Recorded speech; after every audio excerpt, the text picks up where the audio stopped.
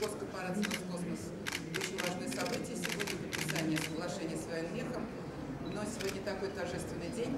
Подписание соглашения – это только одно звено целой цепочки событий, которые сегодня будут. Сегодня юбилейный день, 85 лет военмеху.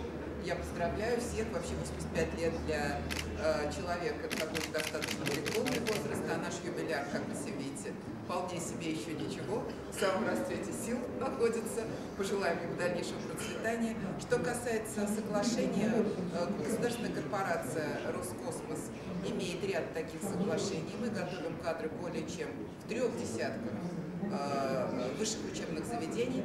Э, соглашение у нас подписано далеко не со всеми. С теми, кого мы считаем опорными партнерами.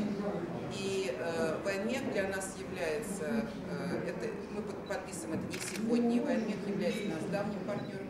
Федеральное космическое агентство имело соглашение с военмехом, верным нашим партнером. Что хотелось бы отметить? Э, как правило, университеты и предприятия взаимодействуют друг с другом в рамках одного города или, по крайней мере, в рамках одного субъекта федерации. Военмех готовит кадры не только для наших питерских предприятий, Арсенал, НИКП, но готовит кадры для предприятий, которые расположены вне Санкт-Петербурга.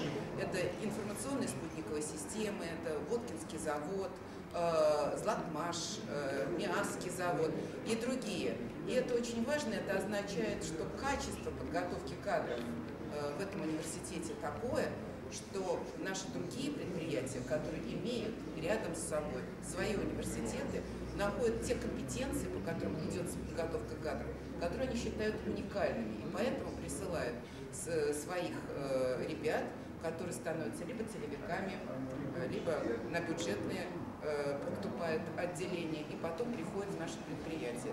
Приятно, что процент тех, кто закончил и пришел к нам на предприятие, очень высок.